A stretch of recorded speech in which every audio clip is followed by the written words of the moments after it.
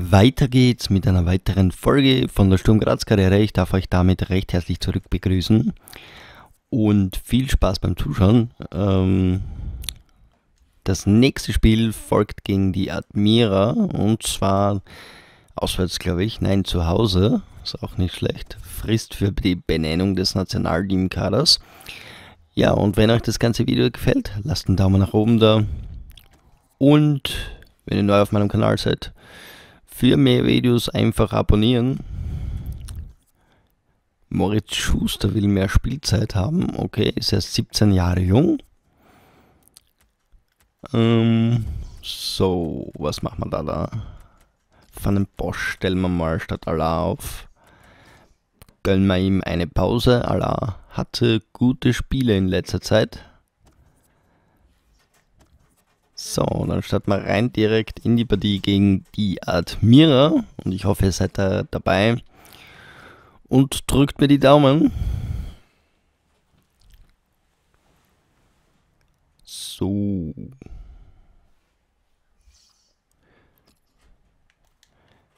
Flanken. Was für eine Flanke. Einfach so mal. Und zack. Der muss drin sein, sehr gut. Ich hoffe, das wird wieder eine gute Partie. Ähm, das Riederspiel wurde leider nicht richtig verarbeitet und habe ich auch nicht abgespeichert gescheit. Ist leider auch verloren gegangen. Jetzt hoffen wir auf ein Erfolgserlebnis gegen die Admira. Die wird ziemlich, ziemlich, ziemlich, ziemlich zu kämpfen haben gegen uns, hoffentlich. Tolle Flanke, die kommt auch an auf, auf Timo Schmidt. Timo Schmidt wechselt da in den Strafraum rein. Oh. Es wäre fast ein Eigentor geworden. Schade. Bei Rami. Beste Heimbilanz. Wir haben erst eine Niederlage zu Hause. In, fünf, äh, in sechs Spielen. Und fünf Siege. Wir können heute damit ein Dutzend voll machen. Schlechteste Auswärtsbilanz hat die Admira mit sechs Niederlagen. Es wird die siebte und vielleicht haben es dann mehr Glück nach unserem Spiel und gewinnen wieder mal was. So. Schauen wir mal, Mondschein. Achtung, gut gemacht. Oh ja, der Schiedsrichter sieht hier, dass das ein Foul war. Leider. Guter Pass, aber Koch ist hier dazwischen. Atemberaubend. Van den Bosch mit der Balleroberung. Wow, die haben ein schnelles Umschaltspiel die Admiraner. Koch jetzt mal. Koch. Es müsste jetzt schnell gehen. Oh, den holt er sich einfach. Gehen wir da ein bisschen offensiver rein in die Partie. Lackner jetzt. Und gute Eroberung von Hierländer. Hierländer wartet auf den Pass noch. Ja, da hat er zu lange gestockt. Gute Balleroberung. Timo Schmidt. Der wird sich wahrscheinlich prächtig entwickeln können. Oh, schade. Lackner. Wessely. Krozurek. Markreiter.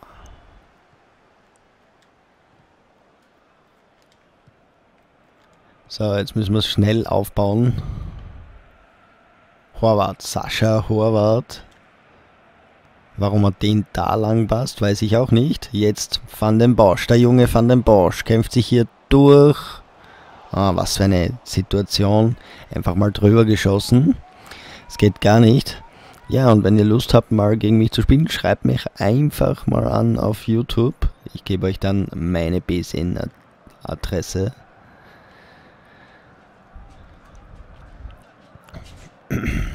So, Knasmüllner, die Admira hat noch alles im Griff. Und jetzt Vorsicht. Aber unser junger Walter Binder kann das gut lösen. Ist natürlich sehr gefragt in Europa. Sehr, sehr gefragt. Und das war ein Abseits. 25 Minuten sind erst gespielt. Die Admira hat derzeit noch alles im Griff. Wann der losläuft, weiß ich auch nicht. Van den Bosch. Und Einwurf für Sturm. Koch. Da ist Schmidt. Schmidt ist jetzt mal durch. Schmidt. Und den versenkt Lovric fast. Es wäre die Führung gewesen. Die verdiente Führung vielleicht sogar. Aber wer sie vorne nicht macht, könnte hinten bestraft werden. Und mit einem Gegentor rechnen. Achtung. Bei Rami wieder. Starker Admiraner, stärkster Admiraner. Pass auf Mondschein. Wann kommt der Pass? Achtung. Binder, wieder dazwischen. Löst das relativ gut. Achtung. Und wieder Binder. Das war ziemlich, ziemlich gefährlich. Und weiter geht's mit einer Ecke.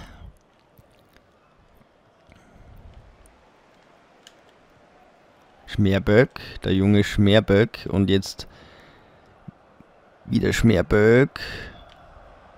Schmidt, setzt er sich durch, muss sich durchsetzen. Schmidt, noch immer Schmidt. Ah, was für eine Situation, schade. Die Admira schließt hier die Lücken. Ziemlich gut. Noch aber. Noch. So. Todd mit dem Einwurf. Die Admira ein bisschen verwirrt nach dem Angriff. Lackner. Vielleicht schlägt sie jetzt zurück mit einem tollen Angriff. Uh. Und Pinder rettet mit dieser Wahnsinnsstart die Granate. Eckball, nächster Eckball und vielleicht jetzt das schnelle Umschaltspiel.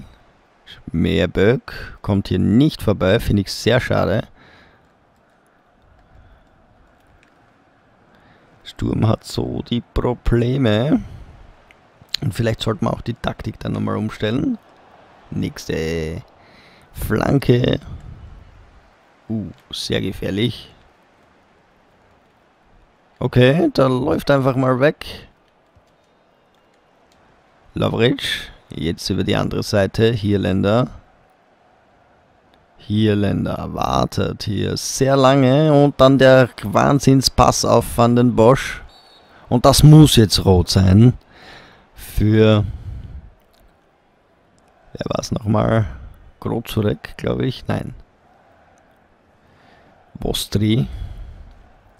Vostri schon eher. Rot direkt rot und damit schickt der Markus Vostri vom Platz.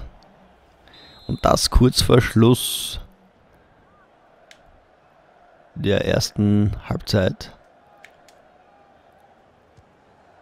Ah ja, was war das? Nichts Besonderes, dieser Freistoß, aber muss man auch so mal schießen. Lykogani ist natürlich noch nicht in Topform. Jetzt eine misslungene Flanke des Admiraners. Ich glaube, Lackner war es. Was Sturm jetzt aufführt, ist auch nicht normal. Ja, auf den anderen Plätzen steht es mit 1 zu 0 für St. Pölten, auch überraschend.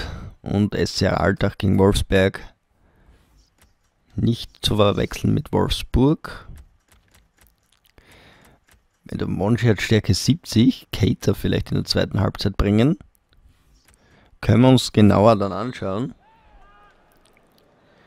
Und weiter geht's mit der zweiten Halbzeit. Zack.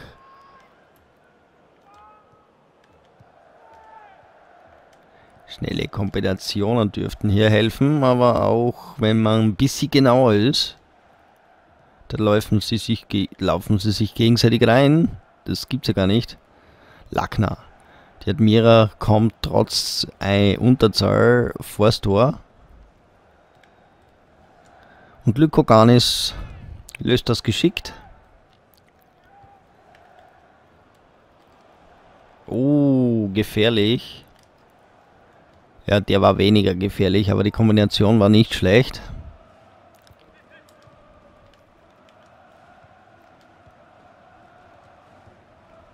So, Schmerböck. Jetzt ist mehr Platz. Und er geht durch die Mitte durch. Marc-André Schmerböck, was macht er damit? Marc-André Schmerböck. Was macht Schmerböck damit? Er zieht einfach daneben. Diesen wunderschönen Antritt. Zieht hier aufs Tor und dann versemmelt er den Ball. Mondschein. Christian Mondschein. Christoph Mondschein. So. Gut gelöst. Wieder Markreiter.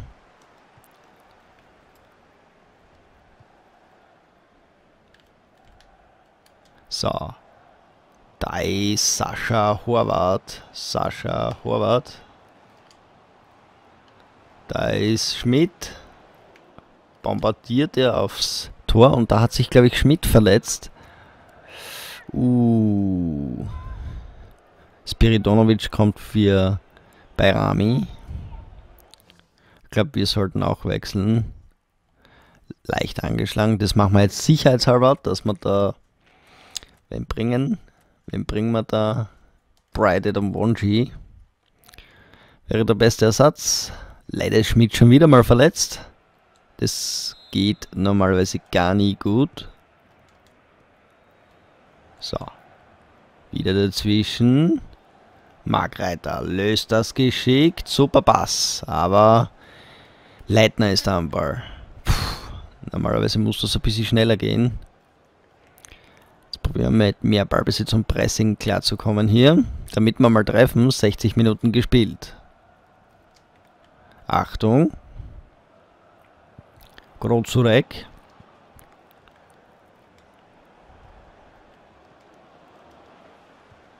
Super gelöst von der Abwehr. Jetzt wartet hier ein bisschen Van den Bosch. Super Pass auf und Wonji. Der zieht sofort aufs Tor. Bright Wonji. Oh, was? Was macht denn Bright Wonji? Bringt den Ball einfach locker rein. Dabei hätte Schmerböck hier den Ball einfach nur versenken müssen. Hier Länder. Wieder. Was? Da wird ihm einfach der Ball abgenommen.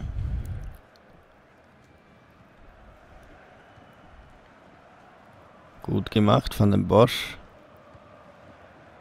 Und wieder Fehlpass. Oh ja, da wird, wird die komplette Mannschaft müde. Wir brauchen nur ein Törchen. Ich glaube, Doppelwechsel wäre sehr empfehlenswert. Horvath ist schon ziemlich am Ende. Das setzen wir jetzt Allah hin. Ha, Cater auf die linke Seite oder von dem Bosch raus. Cater rein. Wir brauchen schnelle Spieler. Keita ist ziemlich stark. Und leider ist er ja im wahren Leben bei äh, SKN St. Pölten einfach mal suspendiert worden wegen einer Schlägerei. Was haltet ihr eigentlich davon? Einfach suspendieren, obwohl der andere der Spanier schuld war. finde, das war ein bisschen unfair, einfach beide rauszukicken. So, jetzt mal hier Länder. Jetzt ist man im Strafraum. Cater, Alsane Cater. Super Bass. Schmerböck kommt schon wieder an den Ball. Also Schmerböck hat mehr Chancen, als er im Tor versenken kann. Wir müssen das irgendwie geschickter lösen. Jetzt probieren wir mal offensiver zu bleiben. 74 Minuten gespielt. Das wird eine Zerreißprobe gegen 10 Mann. So, Keita. Allah. Und irgendwie laufen sie sich da gegenseitig rein. Super Bass. Und Keita, das gibt's ja gar nicht. Da wird einfach umgeschupft. Da hat Leitner aber ziemlich überreagiert.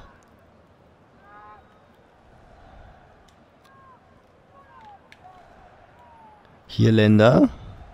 Und schon wieder ein Foul. Schmerböck. Adam Wonji. Ach, die kommen hier nicht durch.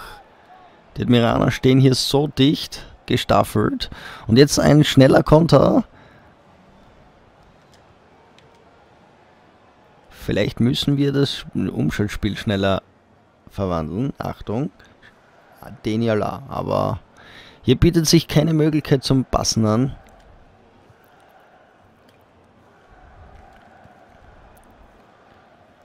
Zweiundachtzig Minuten gespielt. Mhm. Psst. Gibt's ja gar nicht. Der biegt hier auf den Ball wie eine Wurstsemmel. Guter Pass, viel zu schlecht verarbeitet. Und jetzt fällt das Tor. Marc-André Schmerböck, er kann es ja doch. Chancenvernebler. Marc-André Schmerböck, nach der gefühlt hundertsten Torchance, steht die halbe Mannschaft hinter ihm beim Jubel. Denn das hat er sich heute verdient. Wahnsinnstor. 1 zu 0. Damit müssen wir jetzt noch mehr Gas geben. Die Admira weiß sich zu wehren. Und Schmerböck, der, der am weitesten und am öftesten aufs Tor geschossen hat, beziehungsweise am weitesten gelaufen ist auf dem Spielfeld. So, Schmerböck wieder. Gute Balleroberung. Hier Länder. Sieht hier Brighted und Wonji. Brighted und Monji zieht sofort hinein. Gut gemacht. Hier Länder. Oh, schade. Es war sehr knapp. Eine kleine, ein kleiner Arbeitssieg wäre schon von Vorteil. Achtung. Und vielleicht taktisch jetzt umsetzen auf mehr Der Ball kommt auch nicht an. Schade. Schade, schade. Aber der Sieg ist da. Gott sei Dank durch einen Marc-André Schmerböck einen Sieg gesichert. Kommt nicht alle Tage vor, aber es kommt vor. 0 zu 2, St. Pölten gewinnt gegen die Austria. Alltag gewinnt auch ganz knapp mit 1 zu 0. Und durch ein spätes Tor trifft auch Schmerböck. So, Moritz Schuster. Gehen wir mal simulieren und schauen wir, was da rauskommt dabei. Binder verstärkt sich hier und Schuster auch. Das heißt, wird schon besser. Wie schon besser. Und aktuell haben wir neun Punkte und wir haben eine schwierige Woche vor uns. Donnerstag Champions League, äh, Mittwoch Champions League Spiel. Mit einem Sieg könnten wir, wenn Real gegen Gala gewinnt oder unentschieden spielt, könnten wir Platz 1 und oder auch Platz 2 sichern. Ja, Lyon abgeschlagen mit einem Punkt. Aber mehr zu diesem Thema beim nächsten Mal wieder. Aber vorerst schauen wir mal in die Jugendabteilung. Wow, 48er Stärke, Jugendmannschaft. Joshua Dehan, nicht schlecht. 58er ZM TK. Also wir haben aktuell starke holländische Spieler da drinnen. Gefällt mir absolut. Und Tschölke will wechseln. Ja, und damit sind wir schon am Ende des Videos wieder angelangt. Ich bedanke mich recht herzlich wie immer fürs Zuschauen, für eure tolle Unterstützung. Schaltet weiter brav ein. Ähm, und ja, bleibt dran am Ball. Ciao, ciao.